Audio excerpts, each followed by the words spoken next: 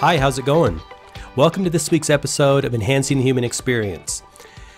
On today's episode, I'm going to share with you a story about something that happened to me this past week uh, about why it's really so important to live in the end and think of the big picture and always operate from our end goal or from the the events and scenarios that we ultimately want to create in our lives and this is something that i think we're always kind of approaching and always um, dancing around and and sometimes it can be challenging to actually go to that place especially if there feels to be a big gap between where we are and where we want to be. And my hope is that you can take away from this story something that will help you do that in your own life. You know, we're all building something, we're all building and working towards our hopes and our dreams. And I think sharing each other's experiences can help us, you know, sharing and hearing each other's experience can help us do that in a more effective way because, you know, we, we can learn from something from another person's experience. We don't have to do that ourselves. And so my hope is that you will will learn from this. And essentially, the story revolves around the online store that I'm creating to share the messages, the same kind of stuff that I really share on the podcast. You know, my goal is to share inspiring, encouraging, uplifting information and knowledge that will really help you create the experiences that you want to have in life and enhance your life experience overall. Um, one of the things that I have had on my plate for quite some time and is is now come to fruition is this online store where you can purchase products and apparel that are really kind of unlike stuff you get at the store. You know, they, they do have the messages, they have the uplifting, um, inspiring messages on them, and really re- they're reminders of what we need to do, how we need to do it, how we need to be, um, ideas, concepts that we can reaffirm every day when we wear these things, you know, whether it's a hat or a shirt or a mouse pad, stuff like that. So I really feel really passionate about this because if there's one thing I've discovered on my own journey is that we can never be reminded too often or too frequently about who we are, what we're here to do, the power that's within us, because our mind is always wanting to go into the groove or the conditioned consciousness that we've built up over the years, right? And this is where when we change ourselves, we're, we're really changing the direction of our of our thought and our feelings. And sometimes it can be an abrupt change. I really look at it like turning a big ocean liner around and making a 180. That can be challenging if you try to crank the wheel and do it all at one time. Whereas it's a lot easier to do it in a gradual, steady motion, and you're not going to, say, tip over the ship or cause catastrophes within, you know, your vessel, your body, or your mind or your consciousness. If you do it gradually and then and then turn back in the direction that you want to go, it's much easier. So there's really no end to how many times we need to be reminded and and reaffirm who we are, what our power is. So I really am really excited about this online store. And as you've probably heard if you've been listening to the podcast, I had chosen to call it Enhancing the Human Experience Store after the podcast. And I thought that was a good fit. But this past week, I had a premonition. Again, once I once I went to the end goal and looked at the, the entire structure of the things that I'm building here on the online presence and my business, I had this premonition that, you know, Mark, you should really call this something that's about your brand that has your name integrated in with it instead of enhancing the human experience. And not because I foresee one day when I might not do the show, which is certainly conceivable, but mainly because it more builds the brand, my brand in a better way and puts me in the direction that I want to go. And so you might be able to relate to this if you've if you're building something of your own and if or if you have built something and you can realize that the way you build it really does play a part in in the grander scheme, right? We're we're all like cosmic builders and the way we build stuff matters. The way we put things together matters and that's why it's really so important to live in the end like I like I mentioned. And it can be challenging. It definitely can be challenging because when we're building, we're in the now, we're in the moment right now, and we're using the tools and like feeling energetically and and thinking consciously about how we want this thing to look and sometimes we forget to think of that end goal and think of how it looks from a broader perspective. I guess that's what I'm trying to get at is when we're building something, we're usually focused on a more narrow perspective and we're usually, zoomed in to just a kind of a tunnel vision, kind of a narrow look at what we're doing. And one thing that I found this past week is the importance of pulling out to a really, really broad perspective, in fact, the most broad, infinitely broad perspective, and look at what we're building in the cosmic scheme of things or in maybe that's too much, maybe that's too far, but really pulling out a lot and seeing where, where we're building and how we're building something, and if it is all aligned with what we want for our for like the end goal, right? Living in the end. And I get that from Neville Goddard. He always said to live in the end.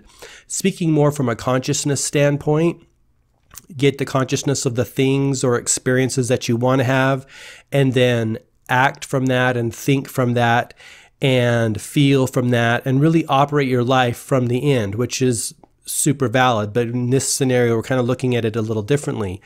But maybe not so much, right?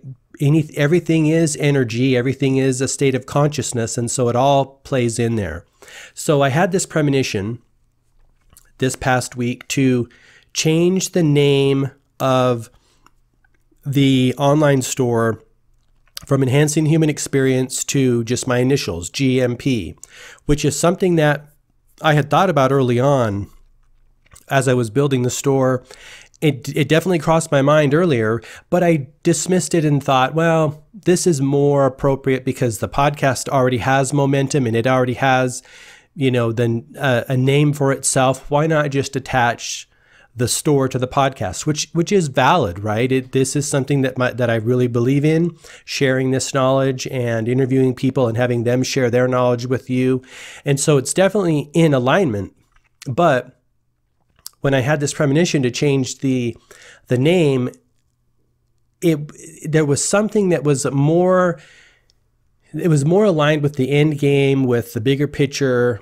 and it felt a little more right. And that's the thing about life is that we can we're always going through these motions of feeling into our end goal or designing the life. Like we're using the help from the universe, right? We're using these sensory perceptions that we have, sometimes extrasensory perceptions, to design the life that will ultimately you know get us where we want to be fulfill our mission this kind of goes back to the ikigai um, reason for being the japanese reason for being you know we want to build out our life in the best way so we can have full total expression be of value and benefit to the world, um, share beneficial messages, right? Things that have helped us and, and things that we feel will help other people. So we want to build build this thing in the right way. And so I had this notion to change the name of the store, which mind you, I guess I should back up a little bit and, and share with you.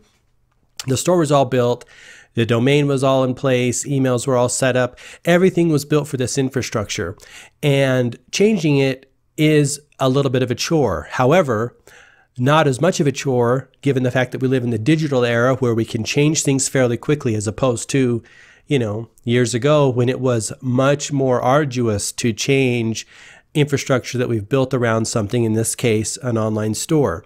So it wasn't insurmountable, but it definitely set me back some time this week, which is one of the reasons why I'm only doing an audio podcast of today's show because I didn't want to go through the put the time into do the do the video feed, it takes a little bit more effort to do that. So that's what happened to me this week, and I I hope that in my sharing that story with you that you can learn something, gain something, and apply it to something that you're whatever you're building in your own life and for your business, and that notion to always remember to live in the end, which is something that I was reminded of this week. And Another thing that cropped up, and this was something that was kind of interesting, is when I had that premonition early on to build the store around my name instead of enhancing human experience. This was months ago when I was initially developing the idea. You know, the thing that cropped into my mind was, well, you haven't earned it yet. You don't have name recognition, which on some level is true, which on another level is totally bogus, right? And so that was one of the major factors that shut that idea down. And while that is very true, that right there should have been a red flag. If I was paying attention or if I was on my game, as I should have been, I would have dismissed that immediately because that's not living in the end. That's applying a condition to something that I'm building and a condition that is, in the grand scheme of things, not accurate because we, we really want to never condition what we're doing based on a belief that is inherent in race mind, right? If we, if we, want to be able to transcend the limitations that we're operating in or we operate in most of the time when we're building something, and that way we get a divine result and we get a divine outcome. And even an outcome, maybe it doesn't have to be divine, but it's right for us. And we're not listening to the known to the rules of the road or the uh, how to do things that are again race consciousness and we're transcending that. This is why little kids have the ability to build and create amazing things and dream like nobody's business is because they're they're not conditioned yet to the rules of mankind. And i say rules kind of in in quotes air quotes because they really are. They're sometimes bogus, right? When you say, well, you don't have the name recognition, you, you're this, that, and the other thing. Well, and ultimately it doesn't matter. As a cosmic builder, which we all are, none of those things matter. The race consciousness, race mind, mortal mind, none of those things matter because we're building something that's unique for us and an offering that we share with other people. And ultimately, at the end of the day, you know what? It does not matter. We have to bring all those rules down and throw them all out the window if we want to build something that's true and like has the essence of our divinity, which we all carry with us and we're all you know, tasked with expressing in the world. And so right then and there, it should have been a red flag, but it just didn't dawn on me at that point in time. And, you know, it's just one of those things you can, you can kind of um, go back and question it or put it behind you and move forward, which I've chosen to do, and make the changes. So the changes are underway. Still, the content and the, I guess, the apparel and products are not going to change. That's the same message that I've always shared. It's just the facade and the front of the store and the name of the store, and of course, the website and stuff like that fairly easy changes in the digital era just takes a little bit of time right um, so that's one of the things i wanted to share today in hopes that you can remember to live in the end with the things that you're building and don't make the mistake that I did in in saying to yourself, well, I haven't earned it yet or I don't yeah, that's not for me, or I haven't got permission yet. That's another big one. And Seth Godin talks about this in his work, in his awesome little essay, Ship It. No, it's called Pick Yourself. Excuse me. He has another body of work called Ship It, and that's awesome in and of itself, which is all about getting the thing out the door, right? And then refining it on the way uh, after you get it published. But pick yourself is about not waiting for permission because no one's going to give you permission. We, we've been conditioned to wait for permission because of society, culture, and the, the education system to wait for permission to be picked before we do our thing. And so once we realize that's never going to happen, you'll wait your whole life if you want to wait for permission, then you just go out and do it. So my hope is that you don't fall into the trap that I fell into of not feeling that you are worthy of putting your name on a on a brand or a product, and two, not waiting for permission, those kind of things. Um, again, not a huge setback in the grand scheme of things, but just something that I was working on this past week in changing things over to be GMP products and apparel for conscious creators instead of enhancing the human experience store.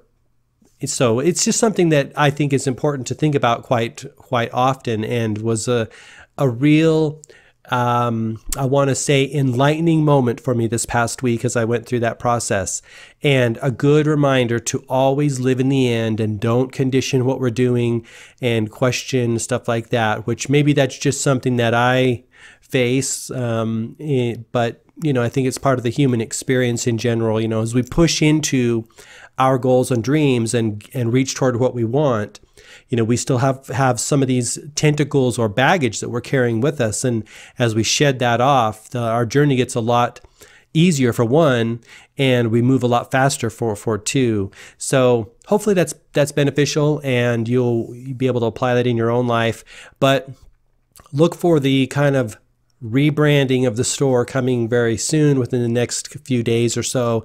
And I'll be pushing forward with that um, name of the store in the future. So, anyway, that's the show. I want to wrap it up at that point. Until next time, all the best, health, wealth, and success. We'll talk to you soon. Bye bye.